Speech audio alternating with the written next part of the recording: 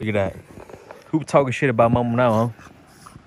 Talking shit about Mama now that you can't run? Oh yeah. Oh yeah, she running now. She getting what the fuck? Yeah, she getting comfortable now, y'all. Woo, damn. Track star right there, baby. Track star.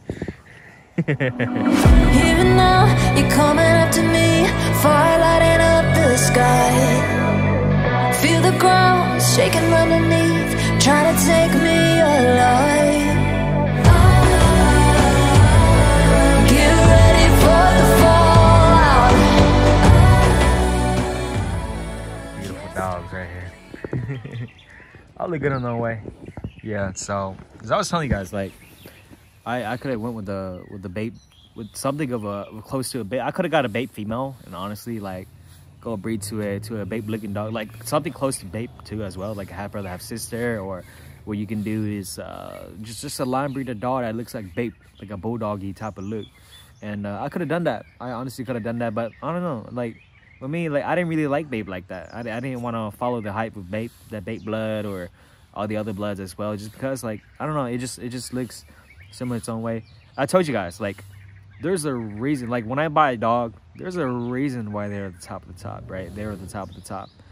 Um but now I'm going on my word now. Like there- there's I'm a, I'm a balance in between. Like now with me I don't like to follow that hype as well because I don't know it just like with me I didn't really like Bape like that 100% I like it 90% but I don't like it 100% you know what I'm saying? So I don't know something with Bape I just wasn't really a fan of the body, the body structure of the of the Bape blood. Don't get me wrong, I love the head. The headpiece is amazing. One of the best signature headpiece styles there ever is in the bully world. Um, just like our Frenchies are, the the DK or the XB or Grinch Seuss. It's kind of like that. So they all look good in their own way. Um, but with Bape, like the also reason why I didn't want to get into the Bape too, because I know it's so easy to get that Bape blood because if I, it's so big now. Um, if I got a Bape female or something close to a Bape and bred to another Bape son or Bape Bape male, Bape looking male, I can get a Bape. I could honestly get a Bape, but I didn't want to do that. I, I really didn't want to. Just as I said, I'm not a really fan of the body. Um, looks too bulldoggy for me. I, I didn't really want a bulldoggy type of bully. I actually really wanted to express a real bully um, from what I feel, right? Not from what I like think or what I think the bully should be. No, it's it's what I feel. And not to disrespect Bape or nothing or them at all. I love Bape too, but as I said, I, I want you guys to find a vision of what you truly like, what you truly love. Um, I like the look of those China dogs better. China's dogs, uh, really clean, really bully too, and uh, really structured, clean, functional, really crazy. And you know, America's America and China, um, they have a whole completely different type of style of bullies, and I'm starting to dig those those bullies in China. I love the look in China instead, and um, you know, just that that's pretty much it. So you know, who knows? I, I might get into Bape. Um, I've seen better versions of Bape. I've seen the best of the best of the Bape blood.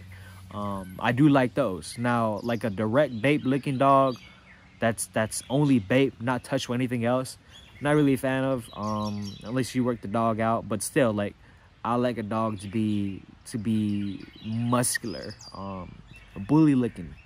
Um, that's just my style. Not to hate on Bape or nothing at all, you guys. I just just hope you guys can understand. Like if you guys have Bapes, you guys have Bape licking dogs.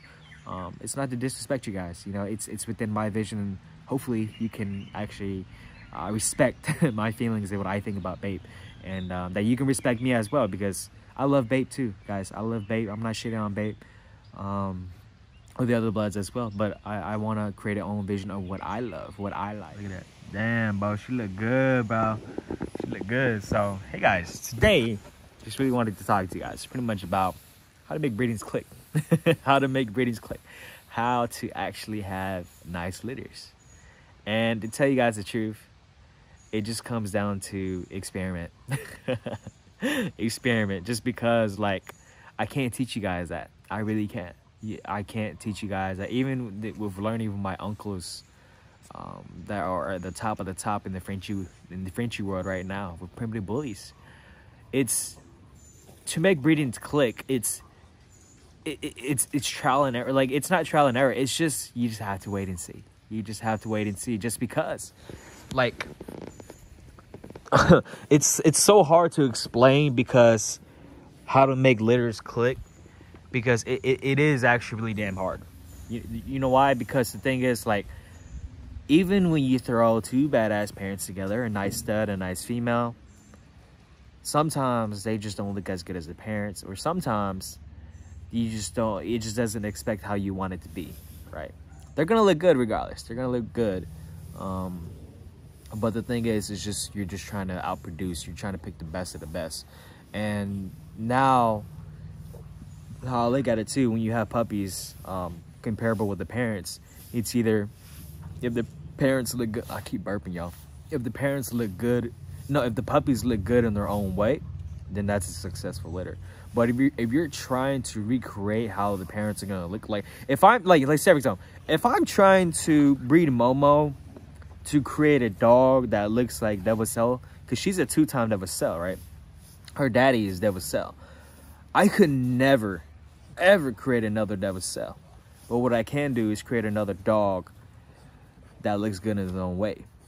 But it, it's the bloods from Demoiselle. You know, you know what I'm saying? The blood is from Demoiselle. So all I know is that the pedigree behind Momo is really stacked. It's really good. So anything that I throw at Momo, it's gonna be good regardless, right? It's gonna be good regardless, and all these dogs are gonna look good. My Frenchie farm right here. Vegeta, you getting your freak on? This breeding right here is going down, you guys. Cardi Reaper. Cardi Reaper. Got Diamond too. Woo! We got so many. Vegeta's busy, bro. Vegeta's staying busy right here. And I got another breeding with somebody else too. So Vegeta's staying real busy right now. So yeah, that's that's that's pretty much it that I wanted to talk with you guys. Just because, man, like as I said, I can never teach you guys how to make breeding click because you just have to wait and see. People are always hyping up, right? Saying, oh, this is going to be the best breeding for the next gen. This is going to be a heavy hitter, right? A heavy hitter or what else? Uh, my stud is a proven producer. My stud is a proven producer. Even I do it. Even I do it myself, right? I just want to be honest with you guys. Um, it's all about hype. It really is. It's all about hype. But to tell you guys the truth, like I just wanted to tell you guys, man. Even the best, like if a, if a stud's known to be a proven producer, I honestly think it's just like a it's just like a tactic for uh, like for breeding, like uh, for sales for business. And honestly, you guys like even if a stud's known to be a proven producer, sometimes some breedings with that stud it, it doesn't work out. It doesn't click. that's just that's just the damn truth. It just doesn't click. It doesn't work out, right? That's that's what makes breeding so like predictable and just like yo like why isn't things not working or man even when i throw ugly things together it, it works out better than what i expected right say for example like roach going in with with letty um i think in my opinion suki and cypher they turn out i'm not gonna lie they, they i think i would consider them one of the best of the best frenchies in my opinion in, in my in, from what i've seen i think they are the best of the best like the best of the best of what i love too and I think everybody's gonna like it. And when I say everybody, I, I like maybe like 95% of people, like 99%. I think they're gonna like Suki and Cypher when they when they see them at shows. They just look fucking good, man. They just they just look good, bro. They just look good. I, I'm I'm not kidding too. Like everybody's gonna like them, and even if they don't like them, hey, they have a different vision. That's that's totally fine. So, like, I honestly think that they're gonna look good regardless, man. I was like, fuck, dude, this breeding worked out well. And Letty, honestly, she wasn't even like that good looking of a bitch, too. she was like a brood bitch. She was ugly bitch. And Roach's structure, Roach was pretty big, man. Ro Roach was a, he was a big, he was a big guy. And uh, to put them two together and to make small females, all the whole litter came out consistent. Suki and Cypher, the sisters, they came out pretty damn nice. I'm like, damn. I was like, so it tells me, man, like from what I've learned with the experience with Frenchies, some breedings just have to click. It doesn't matter if your stud is a proven producer or not. Some breedings just have to click, right, with your female. Some breedings just just doesn't work out the way you like it to be. You know, with bullies, for example, some came out too long snout, some came out uh, all short tails like it you just you just unlucky or it just doesn't click right right? So that's what i wanted to talk about with you guys today just because like i can never teach you guys how to actually make things click.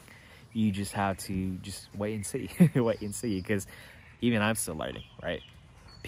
That's the unpredictable that no other breeder will know unless you line breed. That's the only reason why you line breed, just to make things more consistent, to make more things more more freakier in its own way. If you know the genetics behind that dog, right?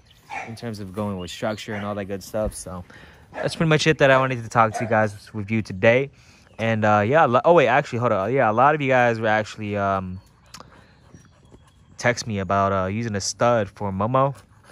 Uh, I appreciate the the offers you guys with uh, we using Momo or was studying out to you guys. But hey, I'm still looking around. No disrespect to your stud at all. Um, but right now, I am trying to still find my vision on what I love, what I want in my bully. Um, I already kind of know, you know, what's what's out there. I kind I kind of already know what I what I love. It's pretty much like a devil cell in a in a lilac suit, in a lilac tri suit, and that's that's pretty much it. I want to create something like that because I don't know. I just love devil I, I just love them short. And it doesn't matter how many pounds they are. As long as the dog is short and they're just thick as fuck. Like thick, muscular built. Then, then I'm happy with that. Um, I like it a little dirty looking as well. Um, he's not he's not too bulldoggy too. He's not too bulldoggy, but he's also not too pit bully long snout. He's like a balance in between as well, and I just love that. Um, he looks aggressive, looks mean, looks like a Goliath for real. So I, I love Devil Cell. Devil Cell is like, you know, one of my main visions that I want to create. But I know in the end, I will never ever create another Devil Cell. But what I can do is create a, dog in its own style that looks good, that comes for him, right? So, as I said, I just know that Momo's pedigree is stacked.